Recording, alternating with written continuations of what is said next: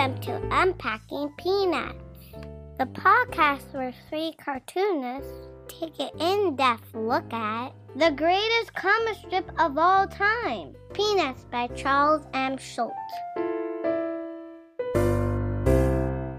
Hey, everybody, welcome back to the show. It's Unpacking Peanuts. We have a little uh, holiday treat for you today a special remastered version of our Christmas episode where we discuss the legendary holiday classic, A Charlie Brown Christmas.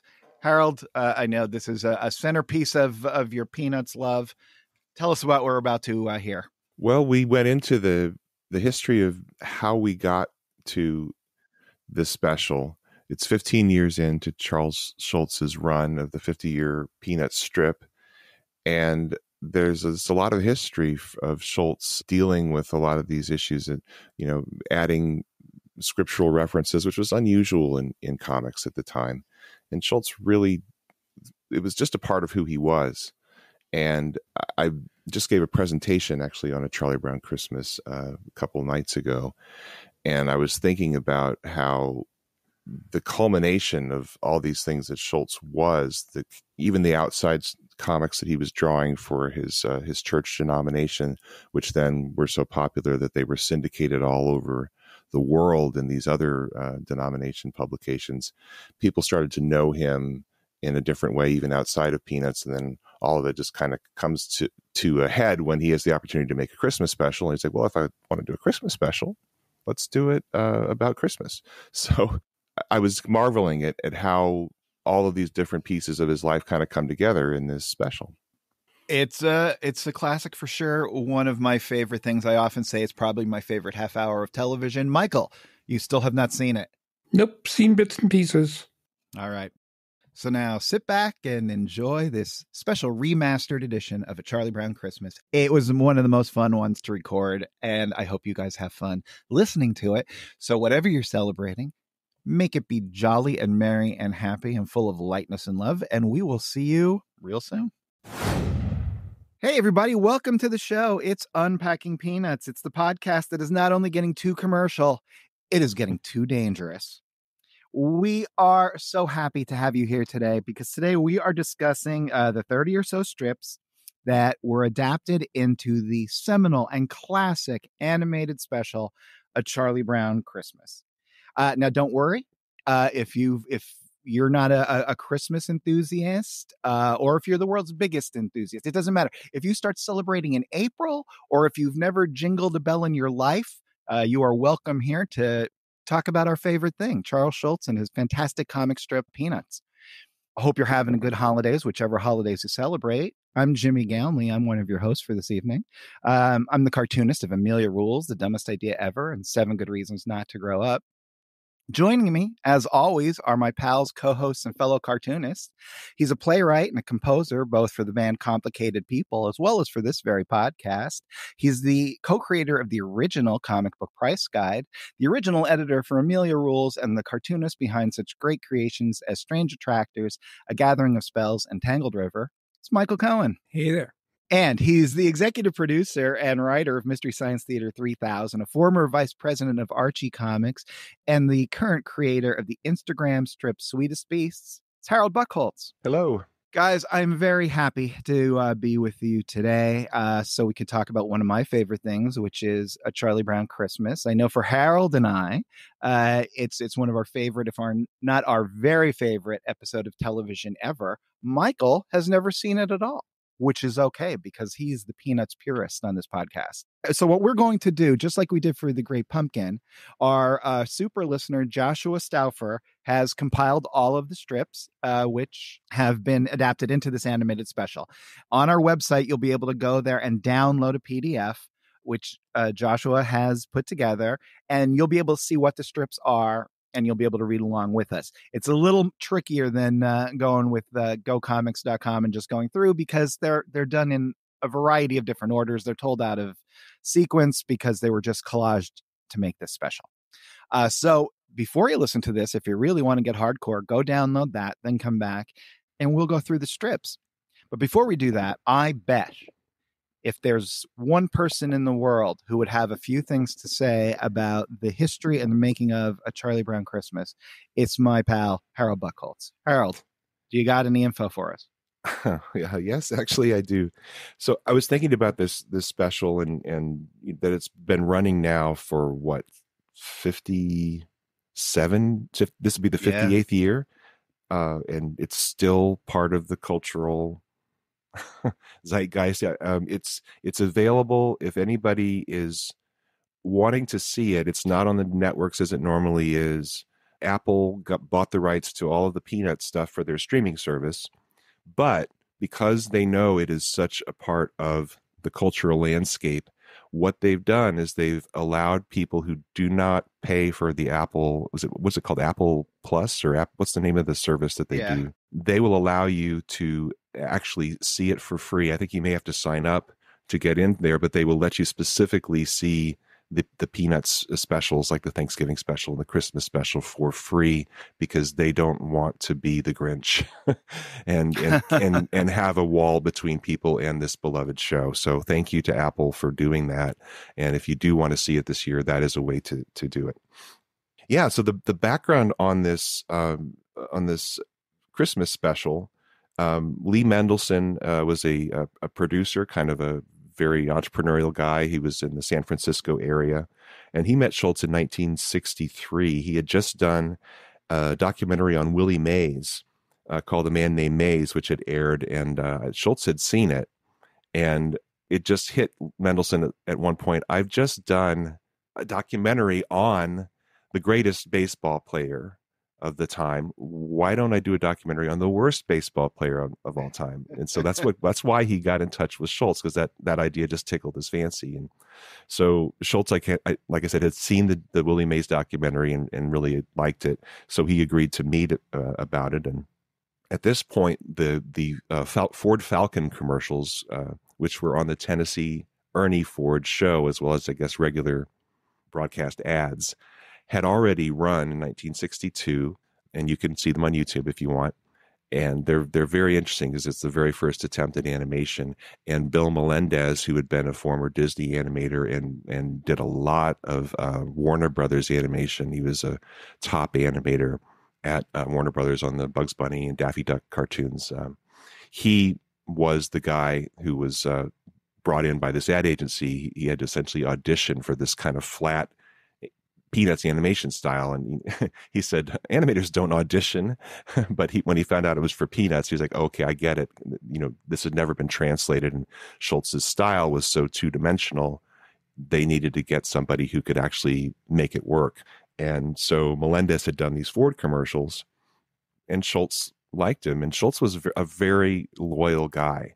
So, you know, he Melendez had worked with him before, so he recommended Melendez to be the guy to animate uh, uh, maybe two minutes of stuff for this uh, boy named Charlie Brown documentary in 1963, and they actually made it, and without a sponsor and without a network, and uh, to the surprise of of uh, Lee Mendelson, nobody wanted to buy it, so it sat on a shelf for seven years before the fame of Schulz was so overwhelming that finally someone says, "Okay, yeah, let, let's let's air this special 7 years later." But that was kind of the beginning of this little team that was floating there in the animation world for for Charles Schulz, And apparently what happened was that there was a an opportunity when the Time magazine gave a front cover Peanuts uh, coverage, which was Time magazine. If you got on the cover of Time magazine, that seemed to be like that that meant you have made it in, in American culture.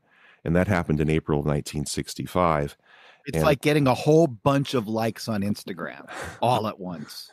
Now I understand. Yeah, yeah. and so this guy from McCann Erickson, an ad agency, had just seen the um, the documentary on Schulz that they had turned down to to find a sponsor, but the guy kind of liked what he had seen and he saw the animation that had been done and he he just called up Lee Mendelson and said, "How would you like to do a Christmas special?" Because Coca Cola was looking for a Christmas special, and that's not a lot of lead time uh, for a half hour animated special. And no. but he he said, "Hey, you know, what do you think about that?" And and Lee's like, "Sure, absolutely. And then he he calls up um, Charles Schulz and says, "I think I just sold a Charlie Brown Christmas show," and uh, and he said, Schulz said, "And what show might that be?" and Mendelson, the one you need to make an outline for tomorrow. so that was the beginning of it. And, and, and, he said, Schulz said, okay, come on up. Cause, um, they were so close to each other. Schulz is, you know, in the Santa Rosa, San Sebastopol area, just south of San Francisco. And this is where Lee Mendelson is based out of. It's, it's near San Francisco. So next day he, he visits Schulz, and they just kind of sit down. And according to Mendelson, it was like Schulz said, okay, if it's going to be a Christmas special, I want to certainly deal with the true meaning of Christmas. And I'd like to do a lot of scenes with snow and with skating. So obviously his memories of Hennepin Very County, Minnesota. yeah, was was on his mind. And he's and basically Mendelson said it, it all tumbled out. And uh, I'm I'm pulling a lot of this from an amazing book. If anybody's a Charlie Brown Christmas fan or is just interested in the history of this, check out a Charlie Brown Christmas: The Making of a Tradition by Lee Mendelson with reminiscences by Bill Melendez. It came out in 2000, right after Schulz had passed away, and you can kind of feel that that freshness of loss of, of Schulz and celebration of Schulz. That is that the square book with the silver cover. Yes, it's a Yeah, beautiful. okay. That's a great book. Yeah. and and done by people that were in the middle of it. And there are things in there that you normally would not see in a book like this, unless I mean Melendez was still around. Obviously, uh, Mendelson was. So they they have like they have the entire. I for- I forget the term, but basically every single assignment for every single scene for every single animator, you can see who was assigned Wow. what in this two-page spread. There's lots of cool stuff like that in there, and the and the reminiscences are very fresh from a lot of people uh, in 2000. And he dedicated it in, uh, the book this is for Sparky We'll never forget you. So it's a it's a great book. So anyway, the what happens is in this conversation where he's just hanging out with Schulz and trying to figure what it's all about. He says it all tumbled out, and they wound up pretty much having the idea for what this was going to be instantly. And of course, Schulz says, "Well, get in touch with Bill Melendez again. He's our guy." And so he calls up Bill Melendez and says, "Can you do a Christmas special in in eight months?" Which really wound up being six months. And just like uh, Mendelson, Melendez was like, "Sure," but yeah, of course it can be done. And but it is really really tight to do something like this. It helps, I think, that you know he had the background animating Schulz before; he'd already worked with him, so they didn't have to figure out certain things that you know they would have had to figure out otherwise. So that helped. And then they brought in all of the children because they were going to do children's voices, which was pretty unheard of to have children doing children. yeah, that's one of the big keys to I think what makes it peanutsy, which it which is a brilliant I think maneuver by Schulz because one of the big like hooks I think especially at the time was oh, it's little kids talking like adults. And even though we didn't, we we've established that's not exactly what it is. I think to the general populace, it probably was. So, can you talk a little bit about that? Like, whose decision? I'm sure that was Schulz's decision, but was there ever thought of going with the, you know, professional adult actors? I think Schulz specifically said he did not like that. He did not like the sound of of adults uh pretending to be children, and so that was something he he did insist on because that was kind of his own pet peeve that he didn't want that in there. And and I think Melendez was game to do it. He'd already done it. I think he'd done it with the children, child's voice, uh, you know, back with the Ford Falcon thing. So again, it was something they were kind of familiar with. And uh, Peter Robbins uh, was the first Charlie Brown, and um, he said he said he was mystified by a lot of the dialogue, uh, and it seemed edgy to him as a kid because you know they're talking about you know it's all run by a great you know an Eastern syndicate, you know, and stuff like that. Where they did, they didn't understand what they were saying, and the girl that played uh, that uh, little Sally was six years old. She couldn't read yet, and so they would feed her a line or half of a line at a time, and you you hear that in the special where she's saying things like, "All I want is what's coming to me. yeah. All I want is my fair share." And it's it's just so endearing. This little it's like a little kid just trying to spit these words out that do sound like a couple of layers too uh, complex for her. it's it's really it's special and and unique. And the idea that they they kind of struggle a little bit with their own lines. Uh, that's pretty amazing. I mean, even the the kid who played Linus, I think he was he maybe just turned seven. Wow.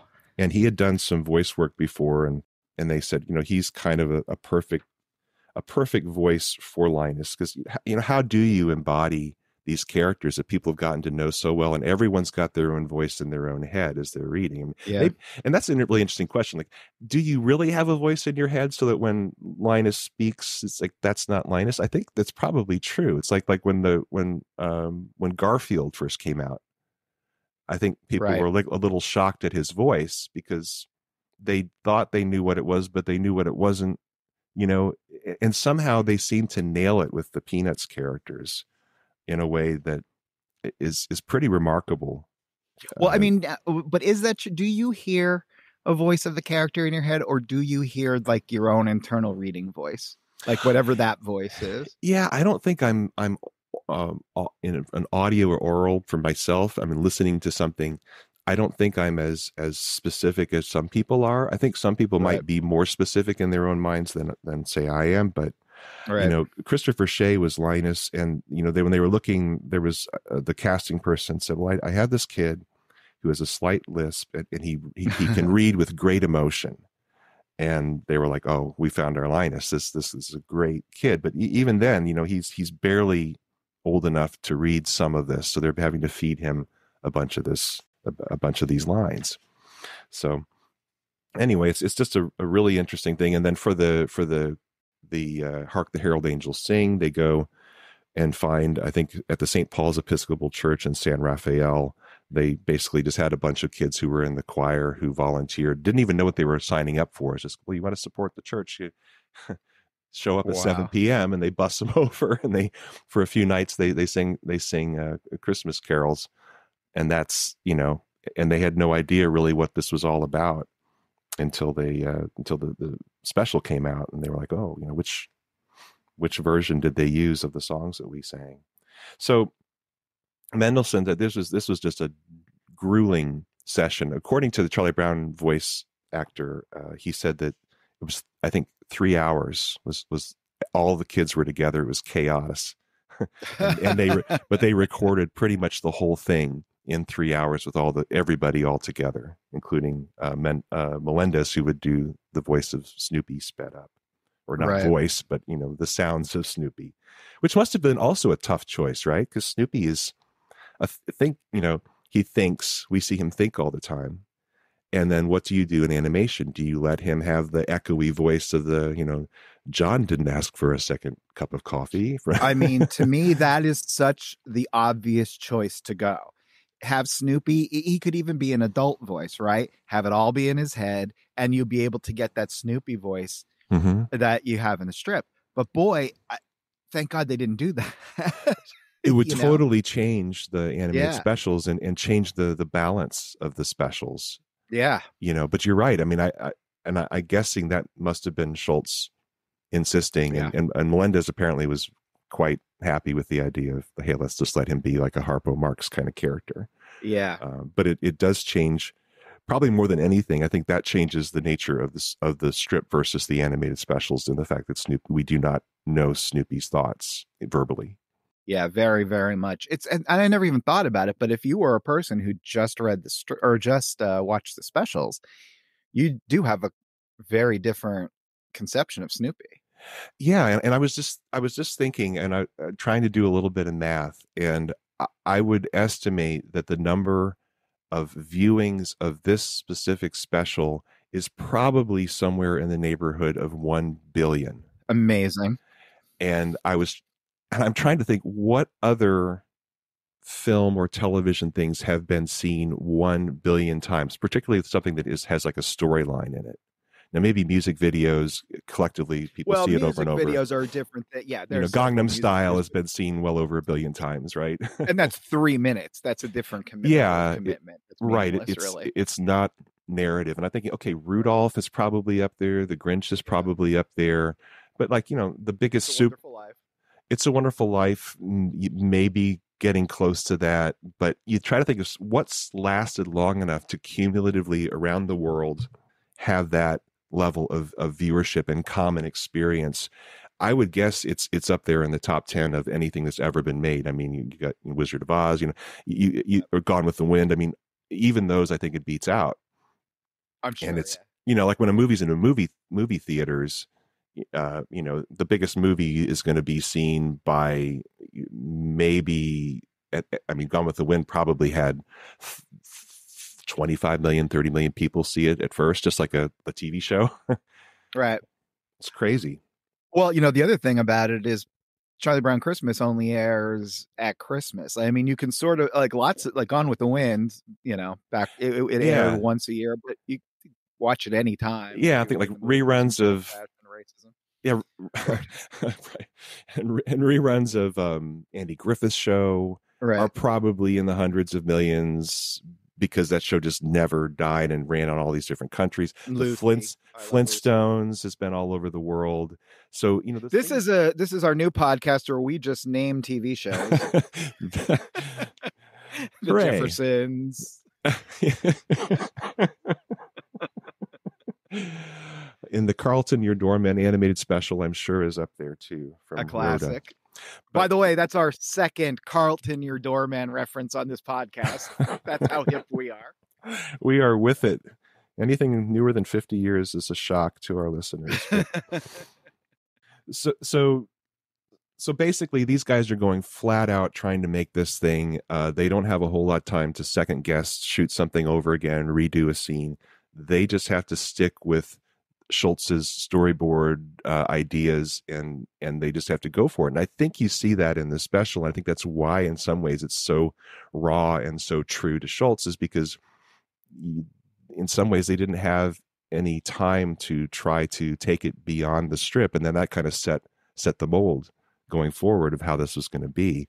And Mendelson was saying the show was finished a week before the broadcast date I bet uh, and they said they were all exhausted and for the first time the staff watched the entire show it said we we all felt our uneasiness after the screening we thought that perhaps we had somehow missed the boat says, however, one of the animators, Ed Levitt, stood up in the back row and declared, A Charlie Brown Christmas will run for a hundred years. And he said most of us would have been happy for two. so then Mendelson flies this print with this print to New York City and he presents it to these two CBS executives, nervous as can be. And he quotes them saying, Well, you gave it a good shot. It seems a little flat, a little slow. We will, of course, air it next week, but I'm afraid we won't be ordering anymore. We're sorry, and believe me, we're big Peanuts fans. Ah, yes, believe me, believe me. There's no one who loves you more well, than us. isn't that turning the knife even more? We were rooting Right. for this more than anything, and and even Right. with that extra push, you failed. Right, exactly, and with their unerring sense of incorrectness, they confidently predict they will not be making any more. I love it. Yeah, we're saying maybe it's just better suited to the comics page. Now I I get that because they're seeing something for the first time, and it is unlike other animation. It's not as slick. And they lack any it's slow. soul and or creative bone in their body, and therefore are afraid to say they like it because it's different, right? It is. It's an artistic statement It- that will make any guy in a suit mad, upset, nervous, Well, yeah, holding it- onto their you- wallet. Yeah well, what are they going to peg it against? And and this Right. thing was standing alone and it wasn't what they expected and anyway so the story goes mendelson heard them talk to each other and they said what should we do with burgheim? And mendelson's like and then the, the other guy says we shouldn't show it to him. It's like who's burgheim? And it turned out he was uh, uh, the tv reviewer for time magazine. He was waiting outside to review it to hit his deadline and Mendelson was like, Well, wouldn't it be worse if you don't show it to him? So they said, All right, yeah, you can see it. And so he had to sit through a second screening with Burgheim silently watching this thing. The guy gets up, thanks him, and leaves. and Mendelson's like, Oh, he's just devastated because nobody. Nobody is responding to this thing uh, except Ed Levitt in that that room, and so he he said he flew home to San Francisco and the airport was like the first place to get the early copy of Time magazine. And so when he, you know, when he got there, it was just being loaded on there. And he said I was shaking when I opened it up and got a lovely review from from Time magazine. And so I was like, well, maybe we've got a shot. There you go. So it airs on December 9th, 1965. It gets a 45% share, which basically means 45% of all television sets that were tuned in watched this show. It was the number two show only to Bonanza, which was a blockbuster at the time, Western.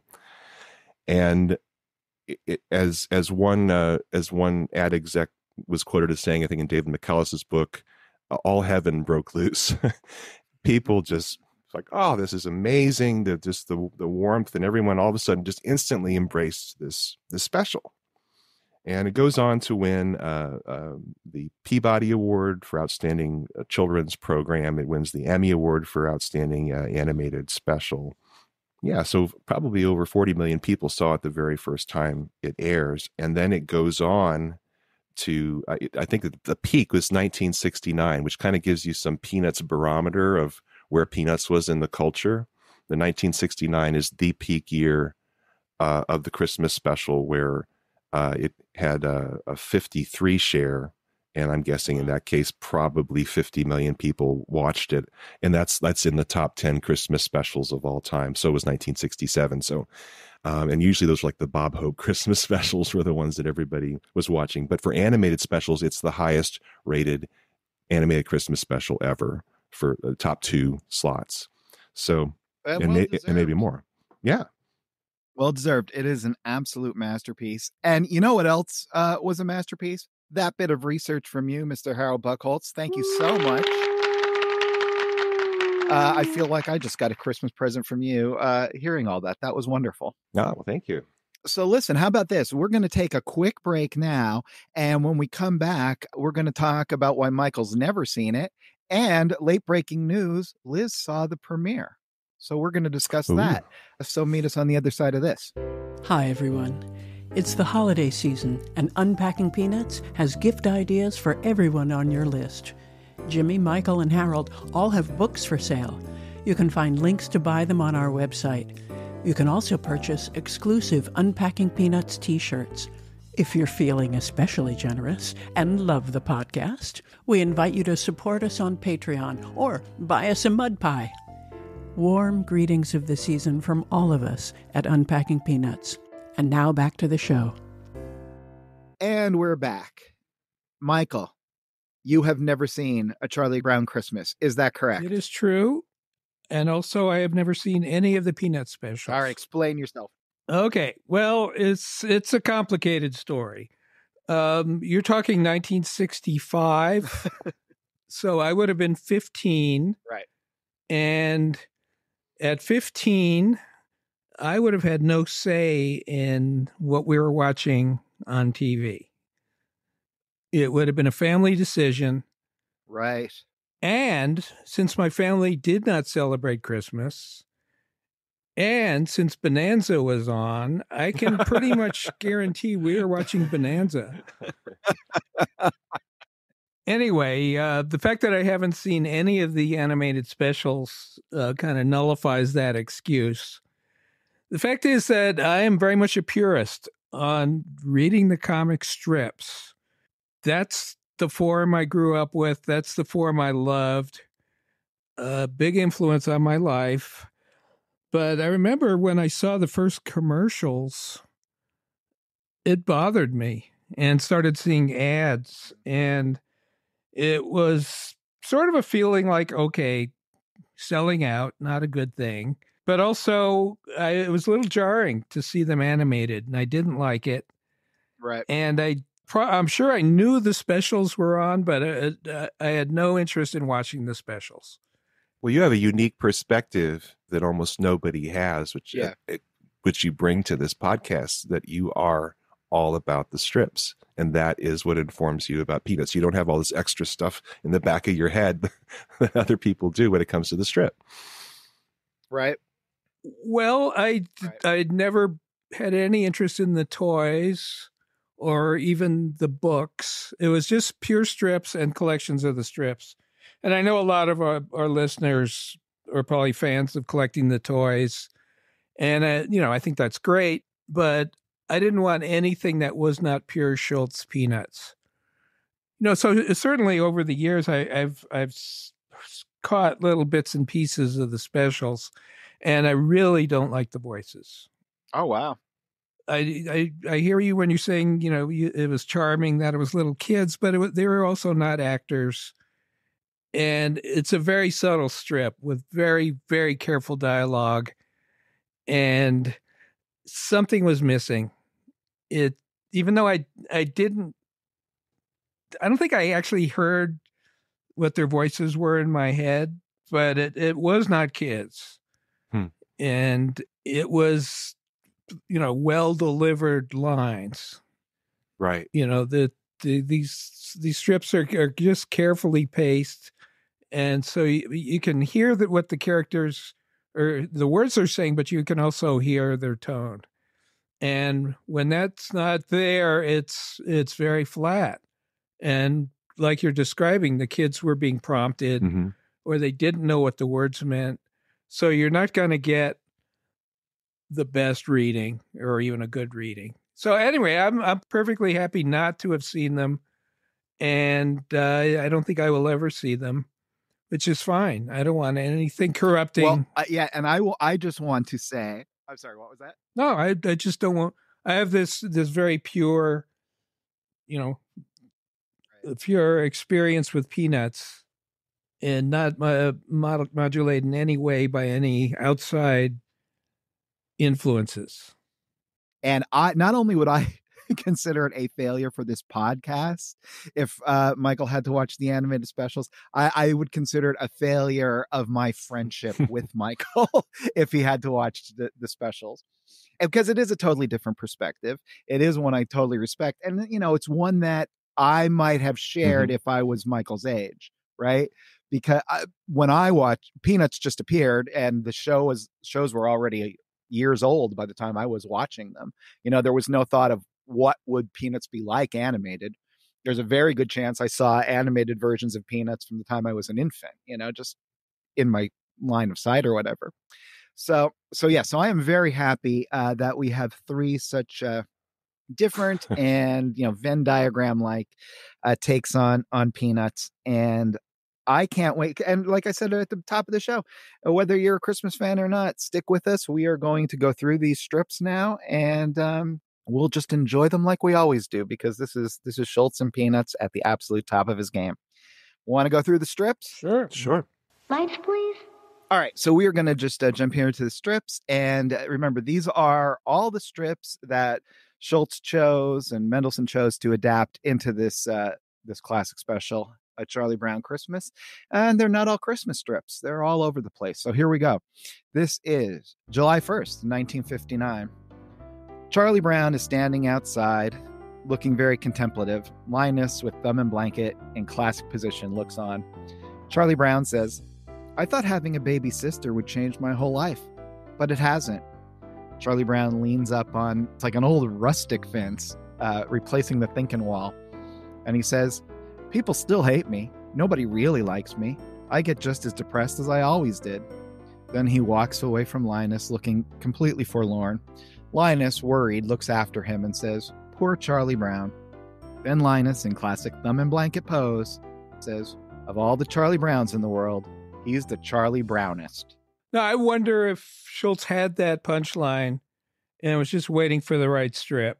it's because it's such a classic punchline.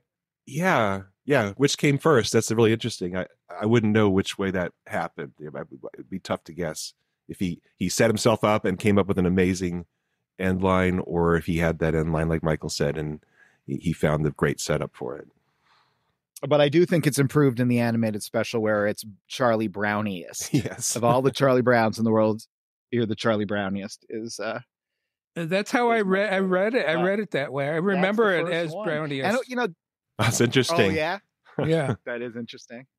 You know, one of the wild things is just that, like, so much of this is a collage. The whole special is a collage. He's taking all of these strips, moving them around, switching characters Yeah. up. And if you download Joshua Stauffer's PDF on our website, unpackingpeanuts.com, he does his own little take uh, on the differences and, and, and stuff between the strips and the adaptation. But boy, and the whole thing is a collage. It's these old strips. It's a Bible verse. It's uh, it's Vince Guaraldi's music, which we haven't mentioned, but which is iconic Yeah. and, and everyone in the world knows. It's and I wonder how d he must have known that's such a great punchline and thought, great, and I can fix it. I can add that I that Michael's been hearing all these years anyway. Yeah, what a way to open the thing. That that shows you how strong he fe- strongly he felt about that strip and that statement. Absolutely. February 14th, 1963. It's Valentine's Day.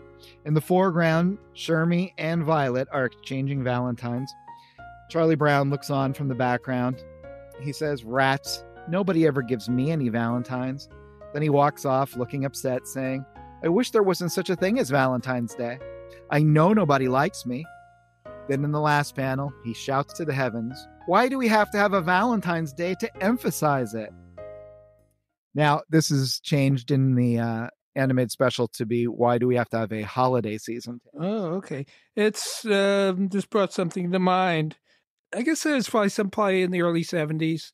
I thought, huh, I wonder if I could do a, a daily strip. I will try to write one with like my, like me, hmm. a cartoon me as the main character. I stole the punchline. I didn't consciously do it. Now I realize my this was my strip. Oh, yeah. Well, welcome to the club. How many times have I done that? Like then I see, then I read peanuts for this podcast. Like, oh, that wasn't oh, mine. Oh, I, I'm fairly. I'm fairly certain I stole one for. I think I mentioned in one of the early episodes for a commercial gig I do on a monthly basis, and I'm I we haven't come up in it to it in the strips yet, but I I, I know it's coming, and I'll be like, ouch. They're just baked in when you've read them Yeah. thousands of times. What do you think? I think it's better having this on Valentine's Day than Christmas. Uh, what I like about the the Christmas special version of it is it's so low key in the Christmas special, and you'd think in an animated thing it would be the over to, over the top yelling like we have in the in the comic strip, but it's it's the reverse. He's saying it in this very Yeah. low key way, which really kind of knifes you in the heart the way he says it. And I think it was the right choice because animation, I think, can exaggerate things so much that you can almost lose what you're trying to say. Um, that it's that it's Right. done in this. It's not a not a whisper, but it's very quiet. It's a scream in my head voice. He's yelling on that last panel. Oh yeah, yeah, absolutely. And but not in the in the special. It's it's very much, it's very much him saying it almost in a resigned way, which is is you know it's it's, it's it really gets you. January sixth, 1955. Patty and Charlie Brown are standing outside in the snow. Charlie Brown says, Come on and see the snowman Pigpen made. Patty says to Charlie Brown, Say, I'll bet playing around in the snow kept him clean, didn't it? They both walk off towards Pigpen with Charlie Brown saying, On the contrary. And then Charlie Brown presents Pigpen's snowman and says, The world's dirtiest snowman. with a big smile on on Pigpen's face of pride. Yes, and the snowman's face and Charlie Brown's. Yeah. They're all happy about it, except for uh, except for Patty. She's a little uncertain. It looks like. Uh, Michael just found a really interesting article about Pigpen in what was it, Astra magazine? Yeah, it's a web magazine. I've never heard of it. Uh, I saw a link to it, and uh, I I don't want to comment on it too much. It's, it's definitely worth reading, but I, I would have considered Pigpen like a one joke character, and a very perceptive writer goes on for pages on the depths of Pigpen and how how complex a character he is. So read that because I've never seen that, and I now I can appreciate Pigpen some more. It's cra- I mean that you know that is a sign of a great work of art. That the more you look at it, uh, and the more you go into it with you know an open mind and open eyes, uh, you do see stuff. You do see stuff that you never thought about before. And you know, apparently, and even according to that article, Schulz himself thought Pigpen was a one joke idea. Uh, and actually wrote him out of the strip for nine years, which I've read this thing all the way through twice, and uh, never noticed. Didn't miss him, Pigpen Was gone for like nine years. Wow. Never even thought about it. And it's not that I don't like Which it. decade was he not around? Oh, I think I think what I don't I you know it, it's like the late '60s to the end of the '70s Okay. or something like that. Wow. I'm pretty sure, or might be its '70s into the '80s. Read the article; uh, they have the right dates, but it's really interesting. Yeah, and it's interesting for those who have seen the Christmas special. I think there's something about the special that really cements him in the Peanuts pantheon because he comes across as a as as very uh, self-confident and proud but in a he has this kind of high self-esteem that somehow is comes across as pretty endearing and that I think that, at least in my mind, that is Pigpen, um, probably because of having seen the Christmas special so many times that I look at him through the lens of the special. I, I will, I'll admit, because of how he comes across as just, just, just. If anybody gives him any trouble, he's got the comeback for uh, for their uh, for their insults or their criticisms. We're not going to read this one, but uh, May 31st, 1957 uh, is another strip that was adapted where Charlie Brown says, uh, Pigpen, you're the only person I know who can raise a cloud of dust in a snowstorm. So that also, Pigpen gets another gag there in the special. December 3rd, 1955. Linus and Lucy are standing out in the snow and it's flurrying. Lucy says, Try to catch the snowflakes on your tongue, Linus. The second panel has them both standing there trying to do just that. Then in panel three, Linus seems to be chowing down on some snowflakes. Hmm, smack, smack. Then he looks to Lucy and says, Need sugar. um, so were you guys ever, well, Michael, you weren't a snowflake catcher. I did not know what snow was. You didn't have snow. Nope. When was the first time you saw snow, Michael? Well, I grew up in New York till I was four and a half, so I, I just didn't remember it. Till four and a half. Okay.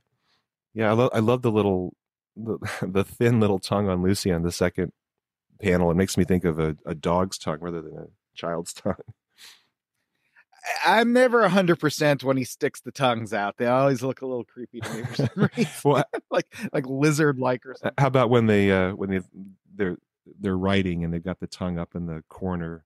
That's okay. I can tolerate that. It's the profile tongue. Uh, how about when they're aware of their tongue? no. Don't say it. Now we're doomed. I can't even talk now. January 5th, 1960. January 5th, 1960. Lucy and Linus are out doing the snow catching on your tongue bit again, five years later. Uh, Linus says, Catch the snowflakes on your tongue, Lucy. Then Lucy, very professorially, says, It's too early. I never eat January snowflakes. I always wait until February. And in panel three, she walks away leaving Linus alone to comment in panel four. They sure look ripe to me. That's a wild thing to think he had a 1955 strip and a 1960 strip. Uh, you know what? There's like 1,500 comic strips between them or whatever, more. But he puts them together in this show as if they're like seconds apart. Mm-hmm. I, I wonder how this like do, do you think he just like sat down with a bunch of books and like went through look just circling gags or yeah, I'm wondering. tearing pages? I'm wondering what kind of access he had to his former strips. You know, did because obviously not all of them had been reprinted, and then they got mixed up. So for a Christmas special, you know, you would think let's go back and look around November through February and see what we got. I But bet he had a he clipped. I bet he clipped them out and put them in a notebook. He'd have to do that. yes, some but yeah, right, Like like like his Conley. or his secretary, yeah, would have like like have have this these yeah these these tear sheets or something from the syndicate row that they could just flip through. Yeah, Yeah, he must have right. Yeah, because he has to get all the backgrounds. That the, the tree has to look exactly the same every time. you know? Uh, you know, I was just going to say this, and I if this if this came to me and they said, "Hey, Jimmy, you're going to do a Christmas special, and you're going to have to just pick the best stuff from Amelia from like 1,300 pages of it," Mhm. I would feel in a weird way almost constricted by it. really? You did it. and he, yeah, like you did it for ooh, a I Christmas musical. no, but that was adapt. Well, we did do a Christmas musical, which right Michael wrote, but that's different. I didn't write it. You you picked the the bits you wanted in there from from Amelia. but it was all from one issue is my point my Yeah, point is true, i didn't true. really take stuff from all over it and i didn't take stuff like i didn't take a rhonda line and give it to tanner Uh-huh. or i didn't you know that i would feel weird about doing, I think, and uh, which is the wrong move. I mean, he was so smart to go, I have the, a gold mine of the greatest comic material ever, and I'm going to use it as a raw material to make this other art. Again, like a collage. Well, it's so episodic. You you have to, right? I mean, eh, he at this point he doesn't have a ton of, of arcs. He has a few uh, for Christmas, so he's he's got to pull something uh, kind of out of the hat here. And it, and and this is the thing about the, these animated specials is uh, they are extremely episodic, like the strip. And I think to some people that's maybe jarring because you know that no other animation is is done this way, where you have the setup for a joke and the characters are in a certain location and sometimes it's almost like they'll just like fade out fade back into the same the same setting where people are now in a slightly different position and then you do the next gag it, you know that's that was always kind of a piece of uh, of what these shows were about it's like bill melendez wanted to mess with Schulz's original vision so little that you would get these these little smatterings of, of basically a four panel joke that's going to run maybe 15 seconds. And then there's going to be another one with you know with peppermint patty and marcy that's are in the same room but the setting has changed just like the strips change. And it's a really interesting choice and it makes these these specials different than i think any other any other animation i've ever seen what one of the things though i think that makes particularly this one and to a lesser extent some of the early ones shine a little bit more maybe is that Schulz isn't super precious about it right? Right. Like I said, like, you know, he will take a character's, uh, you know, and, and switch the lines of dialogue, uh, whatever he needs to do to make it work. A whole setting we'll see later uh, is a, a play rehearsal in the show, but it's a baseball meeting in the strip. Yeah. And later, when I think when Schulz gets less involved, and then sadly, you know, after he passes away, it becomes where they are just adapting strips almost directly uh, up until the movie where you know it's his son and someone else who co- who writes the script and suddenly then they're they it feels like they have that freedom again to mix and match and and, and do some some interesting stuff i can say that i think probably why this one is is that way and it's so it's so collaged is prop like it probably was the most um you know them all sitting in a room probably looking through things and collecting information as they go. Yeah. I think that's how it was done this first time around because they were all trying to figure it out together and they needed each other and for support no and insight. But later, the way Bill Melendez described how these things were done, Schulz would would create an outline independently of Melendez or or, or Mendelson for the most part. He would send that to Melendez Melendez would then take it and storyboard it out. And obviously, Schulz, probably his secretary, had collected the strips.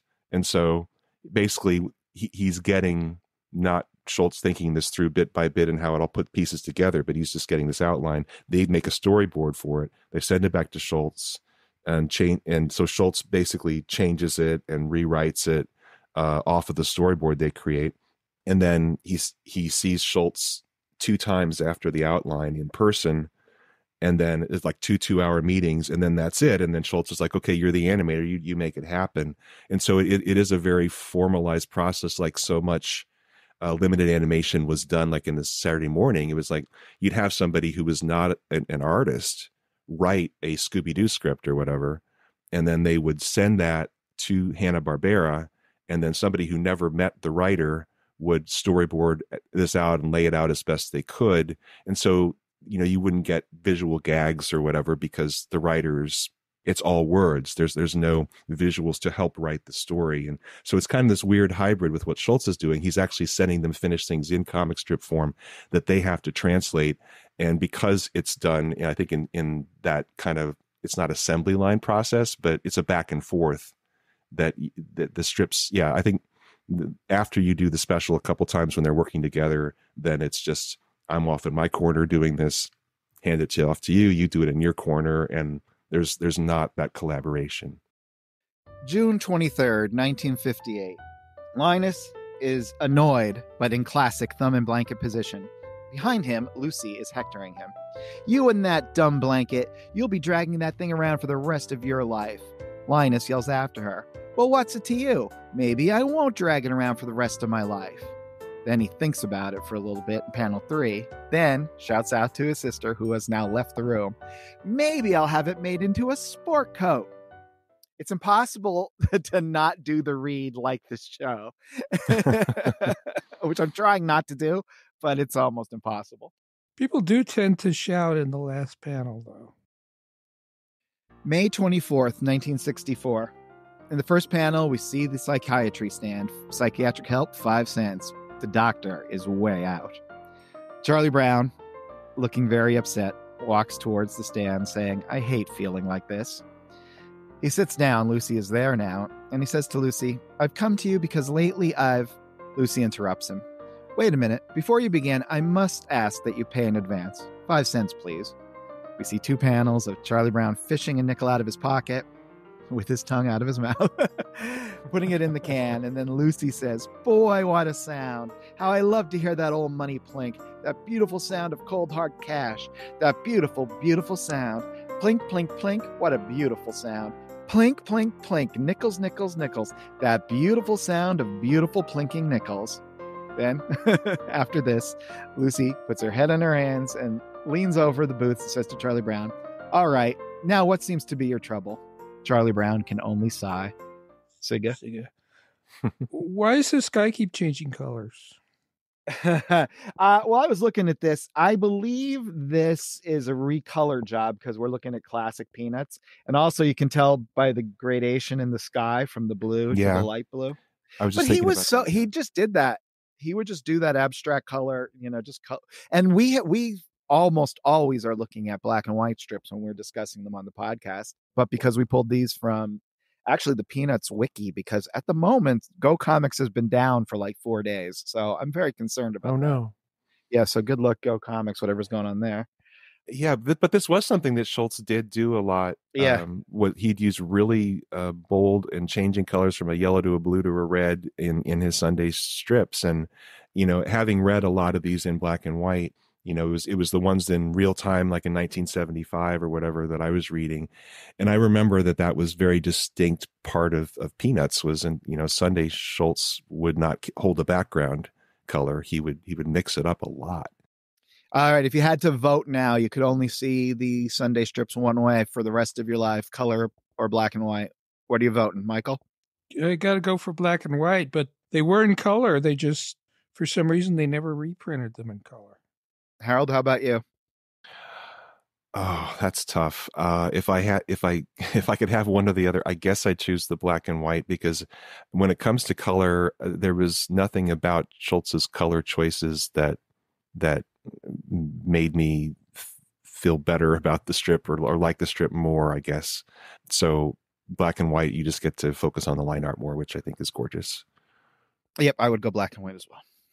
Oh, now look look at that panel where he's putting the that nickel into the can. Look at the perspective on on that the top of her sign. It's like Yes, going way up there. It's completely off, and it's the kind of thing that you wouldn't even necessarily notice in black Unless it was white. colored. Yeah. Yep. uh, the co- when uh, that is one of the the downsides of working in color is that you can't have those sort of soft well you can but you have to work a lot harder with the color uh those soft edges where you're kind of not trying to have the eye go uh, Yeah. which is, is definitely what's happening there Yeah. but but it's fine too I, i'm not crazy about the coloring job on this i i'm not I, i'm curious as to how close it is to the original and no offense to whoever did it i mean yeah, I'm guessing it's it's probably identical with the exception of of the computer, you know, the green on the tree seems they've tried to kind of sponge it a little bit so that it looks like Yeah, it's three didn't even notice dimensional. and then you've got the slight gradation on the blue sky uh, which uh, for some reason just doesn't seem to work with the flat flatness of the characters and you know I, I I deal with that with my own strip because i've got usually flat colors on my characters but the backgrounds can have a little gradation and it's hard. It's hard to know. You don't want to do something that looks so artificial like a computer did it yeah. um, but you also want to give a little bit of of variation and and so obviously somebody thought it was okay to to take the flat colors that Schulz had and and and just tweak it enough but to the point that they tweak it so little it it I, I don't know what the purpose is It's neither mean- here nor there, right? yeah wow Well, I, I like coloring. I, th- I I always think I'll give up the coloring as part of my work, but then I realize it's so integral to what I'm doing. I kind of can't. Yeah, Um, I, in my sycophantic way, but I'm, I genuinely love the color that you do, especially like when you have the outdoor scenes and you've got you've got little suns, you know, the, the sunsets and the bursts. Your color is really, really lovely, and and you have the flatness of the characters. Certainly to start the Amelia Rules, uh, Yeah. the same flatness as Peanuts, because Peanuts was you know obviously a model for you. Uh, Peanuts yeah. of the, for the 21st century with Amelia Rules. you know, you did find a way to take and i'm not sure what you did on the shading with the characters or you how you mixed it up. I'm trying to rem- just from memory but i remember the backgrounds being so rich like the outdoor backgrounds. Yeah. and it doesn't detract at all and i'm uh, are there any thoughts you have about how you approach that and why like in, in something as flat as schulz that you can get away with something that is is as rich in the background eh, as it is? Well, yeah, I you know because I, I think what it actually is is that Schulz didn't have Schulz and everything that came after Schulz as an influence. One of the weird things, like I love Cerebus. I mean, Cerebus was, and and that's a tough thing to say these days because it's it's swamped in all kinds of political and uh you know nonsense and controversies. But at the time, it was the funniest, most creative, coolest book before all that stuff engulfed it. And it had a really rich background world by this guy Gerhard who just did the backgrounds. And he's an artist, uh, a, a 3D pen and ink artist on like Robert Crumb or possibly beyond. Like he's as good as a human can do that. And I couldn't do that. But I figured, well, if I do have a digital tool, if I just drew Amelia's neighborhood as richly as possible in notebooks. And at the time, I actually would have had like it was called my it was virtual Gerhard was my background my folder on my Mac, and I had something like fifty different houses that I had drawn into me, and I could paste them together in different ways, and then draw over them to change them, and I could take the leaves off and do all this weird stuff, so that when I'd have those really rich backgrounds, I didn't have to spend the time on the page. because so I you're really an animation artist in that regard right right because Uh, i mean uh, well, that's the, what you anymore, could But yeah, that's how that was. Yeah. Because I mean, I mean, for those of you aren't that into animation or how it's done, I mean, what you had to do early on with most cartoons, if you were doing a color cartoon, is you could draw a beautiful, you could paint a beautiful background in acrylic or watercolor, and it could have as much detail as you wanted. But the characters were on these clear plastic sheets that you would uh, take, you would trace the artwork from the pencil drawings of the actual animator with a, you know, usually with a black black ink pen by people who were experts in that. And then they would wind up painting on the back of those cells. And in most cases, it, was just a flat color because, you know, you, you couldn't afford to, to shade, shade that. So, so, you know, the backgrounds, you, you're just doing one for a whole sequence and you could really put a lot of lovely art into it. And so, I mean, I, I, as a, as a fan of animation just got used to the idea that you have a flat character on a background that can be extremely rich and that's that's just normal and i guess that's an aesthetic i i inherited from watching all these old cartoons like bugs bunny and disney films and that's Yeah, and I loved all that too. Yeah, here I'll take you mentioned the lighting and the the like you said the suns in the sky. Yeah, yeah. sort of. Okay, I'll tell you this story. This is this is a this is a, a tip because obviously all that stuff you could do with lens flares in Photoshop, right? You pull out this Yeah. lens flare, that lens. Okay, I I used to work though uh, in television, and I was always doing. I had to do graphics on a daily basis, and I was always looking for new things that I could use. And we obviously were a TV station, so we had weather. So I was trying to figure out how I could do different weather graphics. I was in the parking lot of the TV station, and the sun was being reflected on a blacked out windshield from one of the TV vans, you know? And it was just this unbelievable lens flare on black glass. And uh, so I just took a photo of it. and suddenly, so I had like a beautiful lens flare that was not a digital one over black. And I could Huh. remove the black digitally. And then I thought, wow, why can't I do that every time I see just position a piece of black glass or and it was almost always that car different times of day and click there's a sunset click there's noon click there's partly cloudy and i used that stuff for years and then you you know you manipulate digitally and put it in with the artwork and it and it works or He's it doesn't genius. work Genius. That's basically what it is. Folks. That, that I mean, that is pretty genius. I don't know. I've never heard of another artist having that mindset to, to think to capture that. That's pretty cool. Oh, well, thanks. Oh no.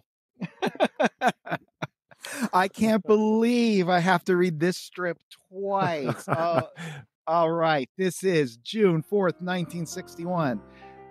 Lucy, looking really annoyed, is sitting at his, her psychiatry booth. Linus comes up and sits down. She says to him, What in the world are you doing here? Linus says, I'm in sad shape. My life is full of fear and anxiety. The only thing that keeps me going is this blanket. I need help. Lucy, suddenly invested, stands out from behind the booth and starts talking to Linus. Well, as they say on TV, the mere fact that you realize you need help indicates that you are not too far gone. I think we had better try to pinpoint your fears. If we can find out what it is you're afraid of, we can label it. Are you afraid of responsibility? If you are, then you have hypengyophobia. I don't think that's quite it. How about cats? If you're afraid of cats, you have ailurophobia. Well, sort of, but I'm not sure. Are you afraid of staircases? If you are, then you have climacophobia. Maybe you have thalassophobia. This is a fear of the ocean. Or gephyrophobia, which is a fear of crossing bridges. Or maybe, says Lucy, you have pantophobia. Do you think you might have pantophobia? Linus says, What's pantophobia? Lucy says, The fear of everything. Linus yells, That's it! Perfect. Sending Lucy flying. Yeah. Boy, Sending sh- Lucy flying. Does she fly in the cartoon? Does she flip over? And they Yes, but it's Charlie Brown that um, is the patient, which I think is a improvement.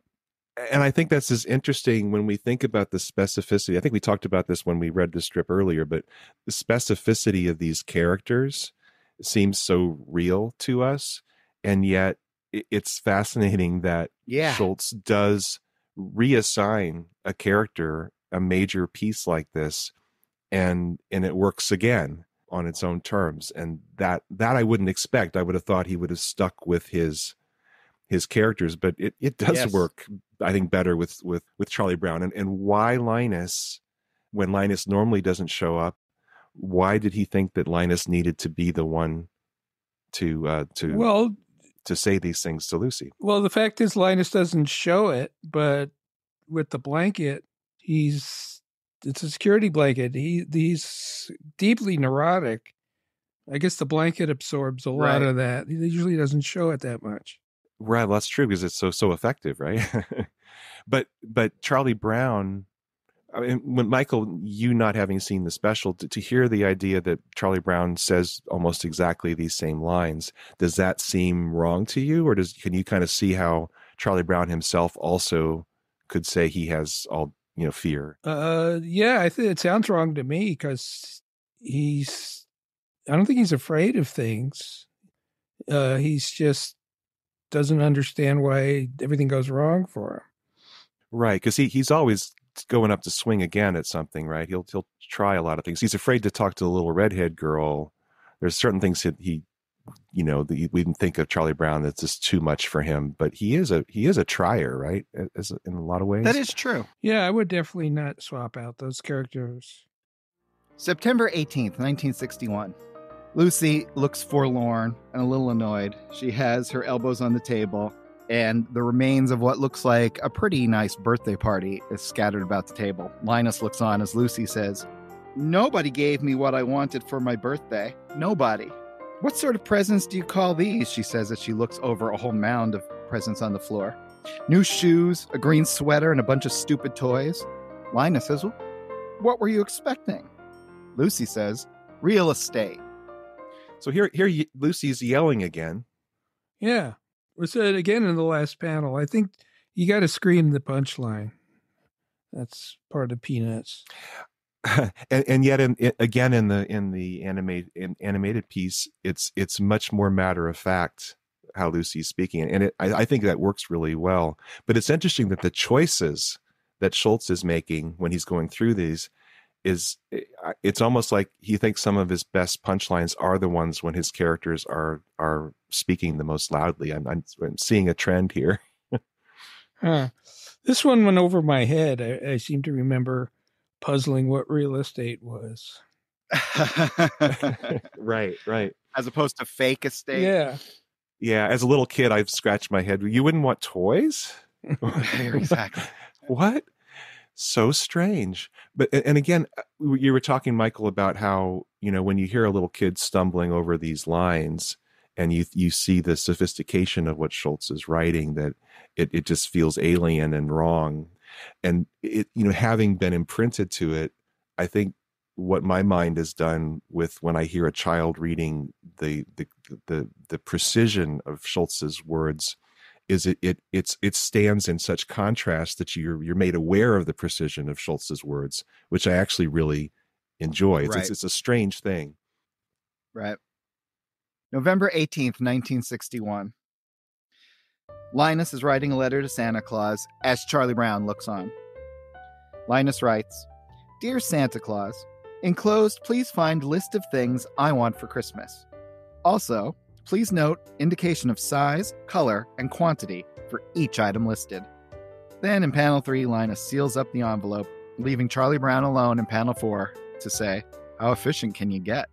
Okay, I'm guessing that uh, Linus actually spoke those words rather than us seeing him write it- write them. It, well, what it is is it's given to Sally, and Sally comes up to Charlie Brown and says, "Will you write a letter to Santa for me?" And she dictates it Hmm, okay. uh, to him and and delivers those lines. okay. So yes, it is that loud. And how efficient can you get gets dropped. Right. Really? It's part of a longer sequence. Yes, of Charlie Brown becoming disillusioned by people and their greed at Christmas.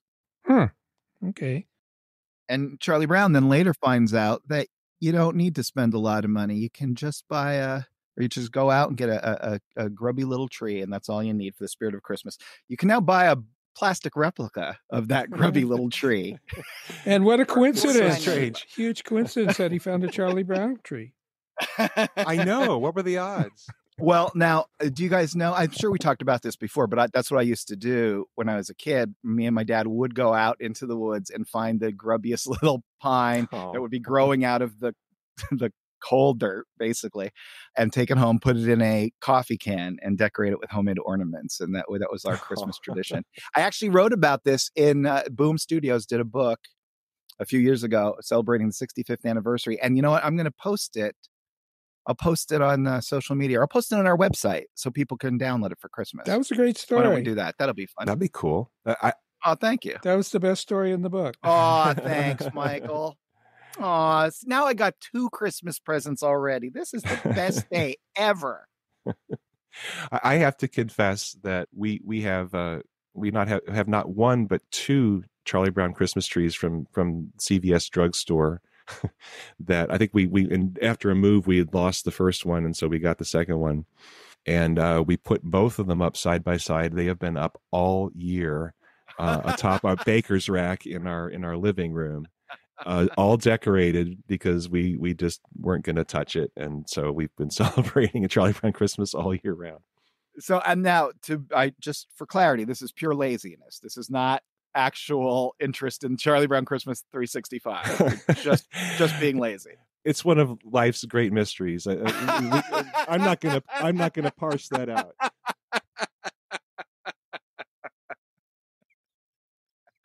awesome. Okay. December 20th, 1962. Now Lucy's writing to Santa Claus. She writes Dear Santa Claus, I know you are a busy man. I don't want you to waste your time thinking about what toys I might like. Make it easy on yourself. This year, just bring me money, preferably tens and twenties. now, this is adapted into the same sequence uh, with Sally writing the letter. Hmm. Okay. Right. So it's this building on Charlie Brown as he's getting more and more disgusted as he's the secretary for Sally. Yeah. Yeah. And then at the end of it, 1961 strips, so you could see him eh, flipping through a reprint book or something. yeah, and, and one of the most famous lines, at least for me, from the Christmas special is when Charlie Brown finally runs away in horror at hearing what his Oh, little sister yes. is saying, and and he just basically like tosses the tosses the paper up in the air and runs away screaming, and then she just kind of turns to the camera and she goes, "All I want is what's coming to me. All I want is my fair share." A classic moment. A classic. I've I have said that many, many, many times over the Yeah, yeah, me too. That's that's a household thing that comes up a lot in our in our day to day conversation. Speaking of Oh, there it is. November 17th, 1961, Linus is posting a letter to Santa Claus with a great three line US mailbox right there. Lucy looks on, saying, Are you sending those greedy letters to Santa Claus again? Linus says, I'm not greedy. And he turns to confront Lucy and says, All I want is what I have coming to me. All I want is my fair share. Lucy's outraged and says, Santa Claus doesn't owe you anything. Linus begs to differ. He does if I've been good. That's the agreement. Linus storms off, saying, Any 10th grade student of commercial law could tell you that. Lucy says, Oh, good grief.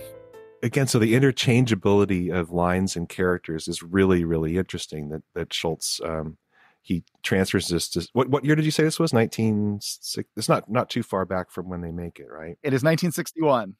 61 okay so sally isn't yet in a position to to do this but the fact that it's transferred to sally it's it's it's very true to sally i think because sal we haven't had a chance to talk a ton about sally the grown-up sally but she's such an interesting character. She's she's certainly has a strong sense of self right? And she knows what it Very is much. that she wants and she sees the world differently than everyone else and and she has this kind of uh, i don't know how you put it but it's it's like it's not selfish but it's a it, it's she sees things through her own lens to, that serves her own purpose and it, it seems like transferring that line and then just and just letting it lie there that that last all i want is what i have coming to me. All i want is my fair share.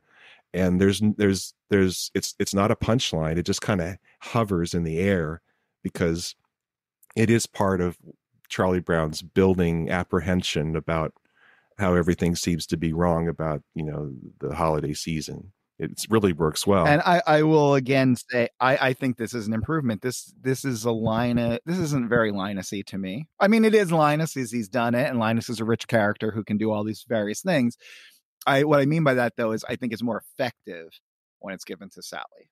yeah it's it's chilling actually when she says it i mean there's something about it that is chilling Sally, because the thing that Sally Sally actually sees through a lot of the BS, a lot of the baloney of true. the world, you know. And she's like, "No, this is the deal. All I want is what's like, what, what's the problem?"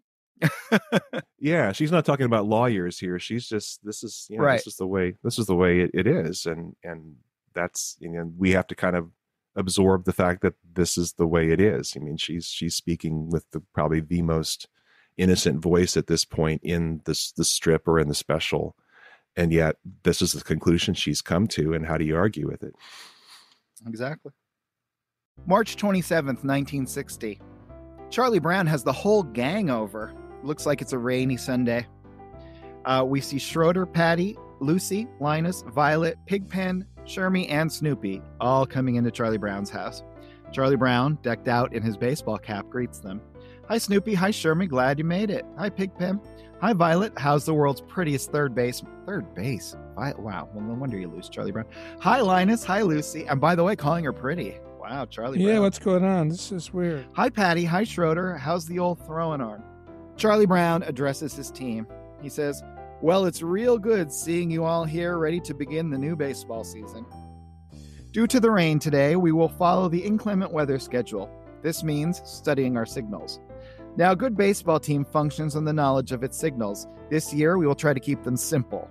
If I touch my cap like this, it means for whoever happens to be on base to try to steal. If I clap in my hands, it means the batter is to hit straight away. But if I put them on my hips, then he or she is to bunt. If I walk up and down in the coaching box, it means for the batter to wait out the pitcher. In other words, to try for a walk. But now, after all is said and done, it must be admitted that signals alone never win a ball game. It's the spirit of the team that counts, the interest that the players show in their team. Am I right? I said, Am I right? A beat panel, and then we see Charlie Brown was basically talking to no one as the whole team is now watching television instead. And he just says to himself, You're right, and sighs. Yeah. How is this a Christmas strip? This is an odd choice. it, it is an odd choice Now, yeah, it's it's completely and a very clever choice very clever because what Charlie Brown is doing in this special is directing the Christmas pageant. and he has to deliver a speech like this basically to the whole group. So he does a version of this. Yeah, so let's set this up. So Lucy has decided uh, after a psychiatric session that Charlie Brown needs involvement. And so he should be involved in the Christmas pageant. So she deems that he should be the director of the Christmas pageant. So Charlie Brown is taking this on is it's it's a it's a real honor. Like I get to direct a Christmas pageant. It's kind of like the baseball manager thing. And so he here he is all starry eyed that he's going to get to inspire a group of people as a director. And he goes through this speech with very few changes just saying, you know, I'm, as your director, I'll give you a motion that you should speed this up, slow this down, you know, that sort of thing in the play, and nobody's listening, and it and everyone is dancing to to uh, Linus and Lucy being played by Schroeder. So yeah, yeah it, it's such a it, it's this is fascinating that he instead of writing something fresh, some Schulz remembers this baseball thing and and converts it so that he's he's adapting his own work for a different purpose rather than writing something fresh and uh, you know he, I, what kind of encyclopedic memory he had of his own strip i don't mm. know and you know but again it comes back to this non-preciousness like going all right i'll take this and i'll you know strip it down for use it for parts basically right well, yeah it's exactly what it feels yeah. like the gag does not and there's also the gag kind of does a, not work sorry to say as a strip well yeah i mean it's clearly how can he not see that they've left. He's looking at him. well, that's I think why it, it, really works better in the animated uh, special, right? Because it's predicated on the music, you know. And he, Charlie Brown's like giving this speech, and but the music then just builds up and bursts, and suddenly everyone's dancing. Uh, that does work, I think, better than yeah. they're just off watching TV three feet away from them. Yeah. Well, there's something uh, also very disturbing here. What's that? I thought Patty was blonde. Why does she have red hair?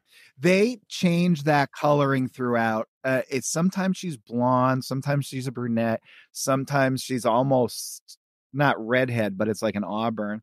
Yeah, I, I always my version of Patty was always a brunette. She's a brunette in the special, but when I went back and saw the original coloring, she was definitely a blonde. Mm-hmm. Yeah, I don't know who or why that changed, but it changed in the strip too. Who knows? Oh, this is okay. This is an off question, but William Pepper our uh, our beloved pal and a fellow podcaster had a weird question harold. In uh, charlie brown the anniversary book the 25th the jubilee the color illustrations are described as plates plate like plate 1 plate 25 do you have any idea why that would be? You know i i do have a little bit of insight into that so i don't and i don't know if whose choice that was. That sounds like a graphic blandishment kind of thing on schulz's yeah. part but it used to be when you printed a book on a press, if is it because they a, used to be tipped in? Exactly, because you you yep. would print everything in black and white or two color, and then if you had full color, it would often be printed on like a nice glossy thick paper, and it would have to be inserted between wherever a signature break was. Like if you have a sixteen or thirty two page eh, giant sheet of paper folded down into that size, that was all black and white and then you drop in a, a, plate and maybe there's only one side that it's printed on because the press could only muster four colors on one side in a specialty press back when color was so expensive. And so those would be called plates because yeah they were they were tipped in sheets that were printed separately in color. So that's we're a full service podcast though I don't think that works in the in that that book because I, I think they had to run that whole book through a four color press, the, the 25th anniversary book. So the concept of a plate is is a little bit archaic, and I wouldn't be at all surprised if that was something that Schulz used because he was such an avid reader and loved books, and so he wanted to have his things called plates. That's my guess. And the thing I'd like to mention on this strip is we see Shermy leading the pack into Charlie Brown's house in this baseball strip where Charlie Brown goes on talking about the directions for how to be the, a good team. And Shermy becomes almost an an in joke in the in the Christmas special. I don't think it's from the strip itself when they're handing out the parts for the Christmas special. Right. Um, was it Lucy's handing them out? Yes. And Shermy gets the part of of a shepherd And uh, do you remember the actual line he says, uh, Jim? Every year it's the same thing. I always end up being a shepherd, something like that. Yeah, and it's like, oh, that's that's just so Shermy by 1965. hey, my very first Christmas pageant, first grade, I was the third wise man. I was on stage for about 45 seconds. I said, what was my line? These are the gifts we have brought to this holy child. I was a lost boy in Peter Pan in fourth grade. Uh, oh, and I was also uh, Governor Clinton. I don't know if I mentioned this before. And I when I was in Fairport, New York, uh, we had the little pageant of the you know the founding of Fairport, New York, and I was Governor Clinton visiting the, this new little town that had just been started. And I remember my, I still have this memory. My sister was was was feeding me the lines, you know, so I would remember it, just like Lucy and Linus are doing it. So I totally, totally relate to him having to memorize stuff for the Christmas pageant because I remembered this. And um, I remember my sister, she got into it, and so she was like way overdoing her setup lines for me. Mm-hmm. So her, she was supposed to be saying evening governor, and she was going evening governor, you know. And I, and I was supposed to come in and go, my, what a fair port. And everyone said, that's it. We're going to call the town Fairport. and, and boy, that never forgotten that. Well, while we're reminiscing, I, I put the call out on social media and on my Twitter. If anybody had any um, any thoughts about peanuts at Christmas, and uh, we got a couple hits. Liz and Eric from uh, from PA, actually, my my home state, said they have uh, peanuts cutouts that they put on their lawn every year, life size peanuts cutouts standing around the Christmas tree. So that is one way. Uh, oh, uh, Shaylee Robson uh, from Canada, our super listener, she wrote and said that she likes to draw Charlie Brown and Snoopy on her uh, Christmas card for her grandpa every year. So that's very nice. And if you guys are out there and you're thinking, "Hey, I want to I want to start a new Christmas tradition or do something nice," one thing that we'd love is if you uh you know while you're while you're spending some holiday bucks and buying people presents, maybe swing by Unpacking Peanuts. Uh, you can check out our store. You can buy our new Unpacking Peanuts t-shirts, which I'm really happy with. We have a an Abbey Road styled one, and we we have the logo of the three of us at the thinking wall. And in case you're wondering, it's left to right, Michael, me, then Harold. We have a, a Patreon uh, where you could you can sign up and you can sponsor us month by month, or you can uh, also just buy us a mud pie uh, through our website. All we want is what's coming to us. All we want is our fair share. well done. February 19th, 1965. Snoopy is sitting atop his doghouse, thinking to himself, I feel strange. In panel two, he jumps off the doghouse. Then he's sitting there with a grin on his face, and he thinks to himself, I feel very loving today. I think I'll kiss somebody on the cheek. He walks up to Lucy, who's sitting outside reading a book, and kisses her on the cheek with his lips. Smack. She screams to the heavens, Ugh! Somebody get me some soap and water! I've just been kissed by a dog! Snoopy goes flying. She's running around ranting now. Get hot water, get some disinfectant, get some iodine. In the next last panel, Snoopy looks a little nonplussed himself, saying, Good grief. And he goes back to lying on the doghouse, thinking, Next time I'll bite her on the leg. So you're saying Snoopy's thoughts are not heard in the special? No, he's completely pantomime with some little like vocalizations done by Melendez, just like ah. Oh. So there's no uh, punchline on this. Well, right. So you basically have you just have the the, the interaction between Snoopy and Lucy, which at this point is a is a fight, right? They get into a fight. Yeah. And well, uh, yeah. yeah. Am yeah, I getting that right? right? Yeah, yeah. And then and so she's running all over the place overreacting. Snoopy's just kind of sitting there, and then they do a zoom in on Snoopy, and he just goes. it's very cute. So a different a different approach, but it, it is actually quite funny the way it's done. Now, they do manage to make it work for animation. I think. I, I, I again, you know, with his kind of uh, very practical eye, saying, "How can we do this so that it'll work in this medium?" And you know, more often than not, it sure does work and one of the best uh, if if i'm not mistaken and someone listening if, if i'm wrong please correct me let us know get on the you know send us a message or whatever. But I believe I heard someone say that a lot of the Snoopy stuff was animated by a guy named Bill Littlejohn, who had been involved in animation for years and years. He was a real master, and he, he had really nice flowing uh, movement and animation. And as hard as the kids are to animate in this kind of two dimensional, you know, big head style, short arms. Snoopy is kind of a dream to animate because Schulz has stretched him every which way, and people kind of expect that as Snoopy. So he's very, very kind of rubbery animation character. And there are a lot of opportunities for Snoopy. He does his joyous, happy dance on Schroeder's piano, uh, getting into the raptured by the music and uh, there's just a lot of lovely stuff at the opening. Uh, they have they're on a pond, and Snoopy is is ice skating on his feet, and just beautiful sweeping arcs, and you know that that's I understand is Bill Littlejohn's yeah. animation. It's probably one of the best animators that Bill Melendez ever had on his staff, and he's a damn good archer. And, uh, sidekick yeah, to Robin damn, Hood. I beat you by like two seconds. January fifth, nineteen sixty four. Linus is watching television. Lucy comes up saying, Switch channels. Linus ignores her. Lucy is annoyed. She says to him again, I said, switch channels. I want to watch my program. Linus turns around and says, Are you kidding?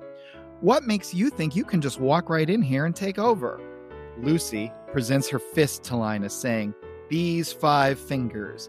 Individually, they're nothing, but when I curl them together like this into a single unit, they form a weapon that is terrible to behold. Which channel do you want? says Linus. Lucy sits down. Linus sighs. Then Linus looks at his own hand, thinking, why can't you guys get organized like that? Panel five is like Stan Lee dialogue. Oh, it really is. That's so funny. do, you think, do, do, you think Schulz was still buying comics and reading Stan Lee? I think it's entirely possible. no, what year was this? Oh, yeah, there was 64. Yeah, could have been. Uh, it's really funny when you look at it like that. All Melendez must have liked this as a as a union guy. yeah, and eh, it, they they really do shorten this for the yes. Eh, the, the the gag is different in again in the special where um I think she says eh, he, he's, he's like was it give give me a reason or whatever. It's just he, he says give me one good reason why. I should memorize these lines. And she says, I'll give you five good reasons. One, two, three, four, five. And as she does, she curls each one of her fingers into a fist. And, a and then Linus says, Go ahead. Classic Linus line. He goes, Those are good reasons. December 17th, 1961. We see Linus as a candle in a wreath in a decorative opening panel. His head is the flame. Then we cut to their living room. It's Linus and Lucy. And Linus says, Oh no, don't tell me, not again. Lucy walks up holding a piece of paper, presents it to Linus, and says, Here's your piece for the Christmas program. Linus reads it. So the words spoken through Jeremiah the prophet were fulfilled. A voice was heard in Ramah, wailing and loud laments. It was Rachel weeping for her children and refusing all consolation because they were no more. Good grief. Oh, Lucy walks away. Uh, Linus looks after her. Lucy says, Memorize it and be ready to recite it by next Sunday. Linus yells after Lucy, I can't memorize something like this in a week. This is going to take research. Linus continues, Who was Jeremiah? Where was Ramah? Why was Rachel so upset? He follows Lucy, saying, You can't recite something until you know the who, the where, and the why. Lucy looks at Linus and says, I'll tell you the who, the where, and the why. You start memorizing right now, or you'll know who is going to slug you, and you'll know where she's going to slug you, and you'll know why she slugged you. Linus says, looking very upset, Christmas is not only getting too commercial, it's getting too dangerous. A classic line. I listen, I have to say, I have a lot of sympathy for Lucy's management style. I, I see nothing wrong with this at all. Other thoughts, counterpoints? I've I've been on the wrong side of your your five fingers. now, not literally. Not literally. Pretty much. Makes sense. You know what? People don't like conflict, as Tina Fey says, but it gets stuff done but it is it is so funny that he's writing this here and it's in the 60s early 60s but not the year this was done and to michael's point you know, you have these kids reading these lines and they don't know what they mean. And here's Linus complaining about that very thing. So I, I need to know what I'm saying and why I'm saying it. And in, in these animated specials, the kids are, I guess, reading this pretty cold and they they don't know uh, necessarily what the meaning is of everything that they're saying. So that's a it's interesting that he's got it in this strip that Linus is complaining about that concept that he's asked to say something without understanding it. Mm-hmm. November 26, 1959. Patty and Charlie Brown are viewing Pigpen, who's just sitting there minding his own business. Charlie Brown says, Did it ever occur to you that Pigpen might be carrying the dirt and dust of some past civilization? They come in closer to scrutinize Pigpen, who just looks baffled by the whole thing. Charlie Brown says, Notice how the dust clings to him. Then Patty and Charlie Brown walk away.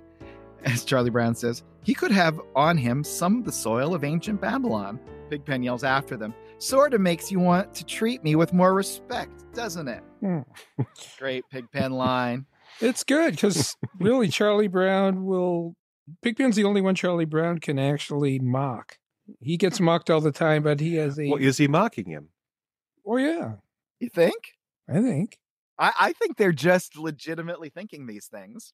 I don't know. and I will say in the in the Christmas special, when you did get to hear the nuance of it, it, it's set up that Charlie Brown is is quite sincere as the director of this play. He, may, maybe you could say he's as the director of the play is saying something that's ever going to serve him as the director, but he is giving Pigpen the honor of this versus it being something that he's poking fun at him for. Well, it's also though significantly rewritten in the special. So there is po- Yes. this this very conversation could have happened in between, you know, between say Mendelson, Melendez, and Schulz. Uh, what is this? What is this joke? And and it's been rewritten to clarify that it's really there to give Pigpen the opportunity to say, "Hey, see, I do deserve some respect." It is much clearer when you see it animated than it is here. And I'm sure I saw it animated before I read it here, so I would Right, never so be that's able to even view it our- with Michael's eyes. Right. Right. Yeah, it's coloring the way we we see this line, and and uh, you know Schulz. We heard that Schulz really couldn't stand bullying, and it seems like with Charlie Brown, after we get into so many years into the strip, Schulz couldn't bear for him to have a line that would be sarcastic about somebody else. It's like somehow Charlie Brown was to embody that, you know, that, that he he's he's been so put upon himself that he's not going to do it himself. So I'm looking at it, I think for the through that lens as well. But it- almost looks here like Schulz is is leaving it to go either way mm-hmm. because the just the looks on the characters, you got a kind of an innocent smile on on Patty there with Charlie Brown. Patty is known for being kind of snarky herself. It's interesting that it's Patty, uh, or maybe it's because Schulz wanted somebody who you didn't think too much about what she's thinking because you're not you don't know her as well as Lucy or or Linus or whatever. But anyway, yeah, I, I could see how you could read it either way. Well, that is a genius thing that Schulz does, and we've talked about this many times over all the episodes, where you can look at it both ways, and it's funny both ways. Very strange, and and really special and unique to Peanuts. And I don't think there's that much like nuance in Beetle Bailey. Like, did Sarge really mean to stomp on Beetle Bailey? You know what I mean? There, there is the way, the combination of the subjects he's writing and the way he draws them leaves a little room for a, a significant amount of room for the reader to put themselves, which is really great. Yeah, and- Michael in the in the Christmas special, it's Frieda complaining that that all of the dust is going to ruin her naturally curly hair. So he he again mixes up our characters in the special. we really see the difference in how Pigpen is drawn in uh when we look at these next this next strip in sequence because we're going back in time and we see January 7th 1956 and we see uh, a very different looking um, earlier version of Pigpen standing outside as Violet approaches holding a mirror and she says Pigpen you're an absolute mess. Here I want you to look at yourself in this mirror she says presenting him the mirror. Pigpen does so and Violet says, Now, aren't you ashamed? And Pigpen says, like a boss, On the contrary, I didn't think I looked that good. I have stolen this line uh, for my life and many, many different times. I have two. Yeah. and uh, Je- Jeff Ornstein was the voice of the first Pigpen, and he, I think he just nails it. It's got this this sense of detached self confidence. It's not not superiority, even though he kind of has this haughty look on his face, but it's he's just like he's standing up for himself on the highest level.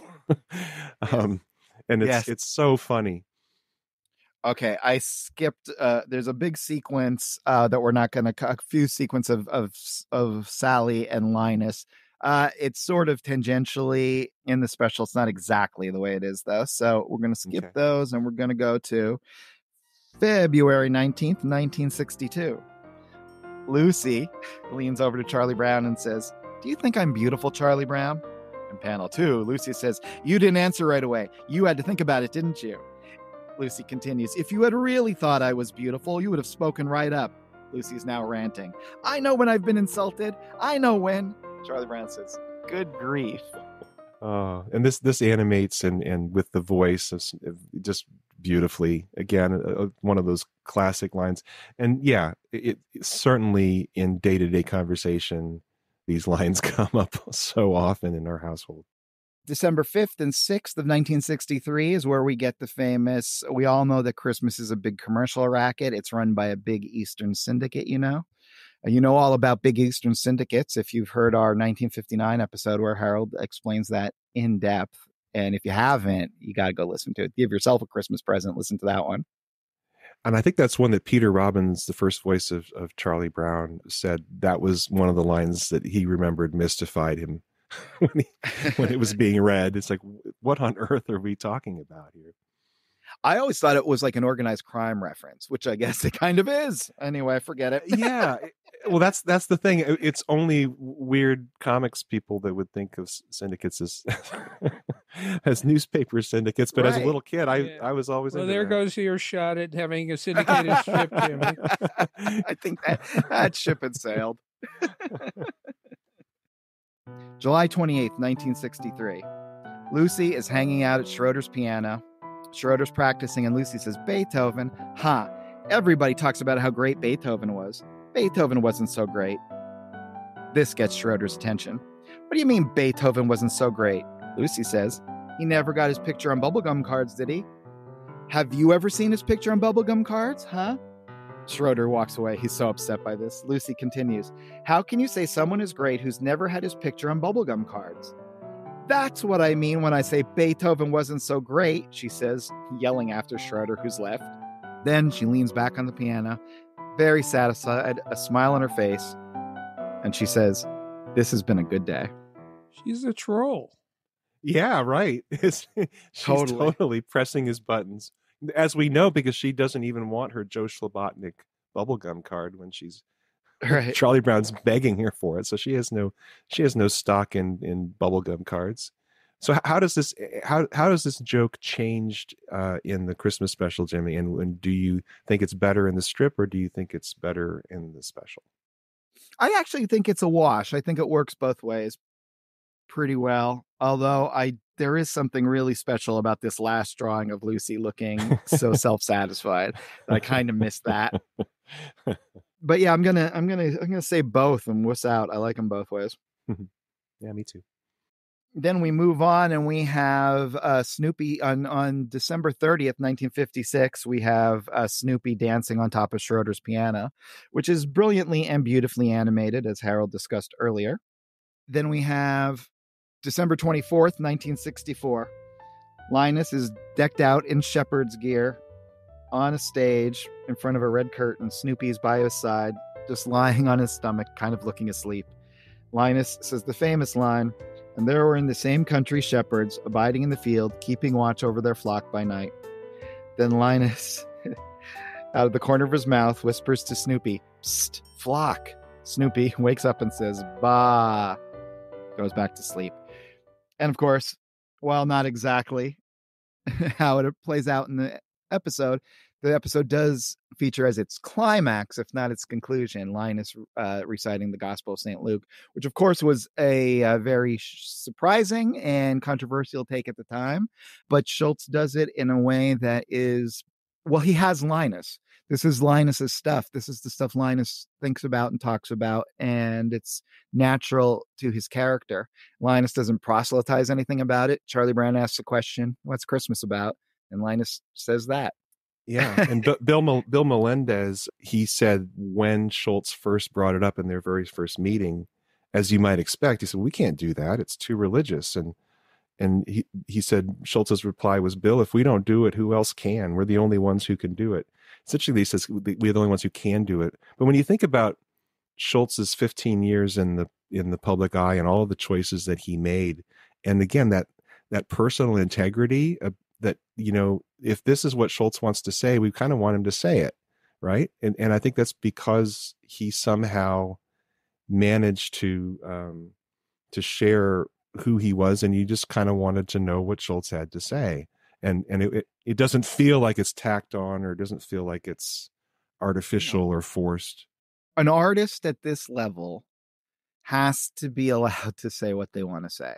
And, you know, like at, at, the thousands of these comic strips and reaching out to millions and millions and millions of people, you know, he has earned the right and the trust that he's not going to blow up the property with some crazy thing. You know, he's going to do it with the class and integrity he does everything else. And that's exactly what he did. And it really works and and I think you know I don't know. he says, "Bill, if we don't do it, who else can?" But I, I think if he had said, "If if if I can't do it, who else can?" I think there's a lot of truth to that because he he he earned 15 years yeah. into his career the right to have that little one minute in his Christmas special, and that's what he said from the very beginning. This he wanted the Christmas special to be, and and you look at the arc of the special about you know being too commercial, and then it ends with the Christmas tree in some ways it's got a, its own kind of almost dreamlike flow. Mm-hmm. Yeah, that's that's the thing about this special that eh, has fascinated me from from childhood, and in a way, I feel like you know I've been thinking and asking myself, why is this special to me the greatest half hour of television? You know, the desert island thing. If I could save one half hour of television, this is it. Why is that? What is it about this special that that gets this loyalty from me and, and, this is very personal for me this is just my my perspective but I, I, think in my life i've grown into this christmas special if that makes any sense. You know every every flaw and every idiosyncrasy is a, is a delight and mm-hmm. I, you know, I can't think of a whole, well, there are things like that that I can say that I also feel the same way. I mean, working on Mystery Science Theater, if anybody's ever seen that show, Joel Hodgson was the original host, and he was often, you know, kind of down on himself of, of flubbing his lines, or you know, they're they're shooting with one camera, you can't fake the editing, and so he would give he would give himself these impossible things to perform they were like three minutes long, a song while he's beating a lemur puppet on his on these on these characters around him, and it's it's it's like watching somebody on a on a roller coaster or or just doing an acrobatic stunt, and he's stumbling and he's almost falling off the rails, and it's absolutely delightful. Well, I think there's something to that in this special that you know what it is and how humble it is as a special and how you know limited it is in its animation and it has all of these flaws that they didn't have time to fix. And yet every flaw somehow is delightful. It's like it's part of the special. It's part of what the special is and what it says. It and i you know I, I marvel at it just like i marvel at schulz's strips that this wasn't just schulz. This was a whole team of people getting mm-hmm. behind schulz. And you know my personal experience is that i went from a shy fearful teenager high school, you know, talking about Linus and Charlie Brown saying, you know, they fear of everything. You know, I was I I can relate to that as a as a kid. And you know, I was in high school and college. That's the way I was until all heaven broke loose. You know that in my life, and I'm eh, and I was confronted with this this God who I I no longer thought was non-existent or distant or a cosmic jerk but this sweet, lovely person, gentle and humble in heart, absolutely delightful. And I can't imagine a God better than that one that I'm discovering. And it totally fits this little moment at the end of a Charlie Brown Christmas. I think that's why I relate to it so much. Is you got this sweet little lisping six year old cartoon character telling of this savior being born in a cattle trough. And that all I can say is, yes, yeah, Well, well, thank you for sharing that. I would quickly like to say that I, for just before we get too far into the philosophy of it all, Cosmic Jerk, new band name, I called it. But uh, no, I I know what you're saying. I had a very different experience growing up. I went to Catholic school, and and you know, so religion was always part of my life. But uh, th- this, so this is this will tell you what you need to know about me. This probably is my favorite TV special or TV half hour of all time. My other, my favorite movie, my favorite grown up movie is uh, Once Upon a Time in Hollywood by Quentin Tarantino. and there are two moments in art. Uh, one is when Linus comes out and says, Lights, please, and recites the Gospel of St. Luke. And the other is when Brad Pitt is smashing the hippie uh, murderer's head into the fireplace. When I sit there, experience this art, I think, you know what? Everything's going to be all right. Those are the two moments. Uh, everything's going to be all right. And I'm so grateful uh, that Mr. Schulz made the art that makes the world all right, at least while you're experiencing it. And I am beyond grateful that I get to experience it every week with you guys, to my best friends in the world, my other wonderful, beloved friend, Liz, and all of you listeners out there who are tuning in every week in greater and greater numbers, not for us, but because we love Peanuts and we love Charles Schulz. So that's it for us right now. Please review us. Please visit our website. You can check us out on Patreon. Uh, we're at Unpack Peanuts on both Instagram and Twitter, if they're both still things when this posts. So please do all that. But otherwise, whatever you're celebrating, have it be wonderful and and filled with love and happiness, and have a great beginning of the new year. Harold, uh, to you, Merry Christmas, my friend. Michael and Liz, happy St. Dagobert's Day. Thank you. And to the rest of you out there, be of good cheer. yes, be of good, cheer. cheer. Unpacking Peanuts is copyright Jimmy Gownley, Michael Cohen, and Harold Buchholz. Produced and edited by Liz Sumner. Music by Michael Cohen. Additional voiceover by Aziza Shukralla Clark. For more from the show, follow Unpack Peanuts on Instagram and Threads, Unpacking Peanuts on Facebook, Blue Sky, and YouTube. For more about Jimmy, Michael, and Harold, visit unpackingpeanuts.com. Have a wonderful day, and thanks for listening.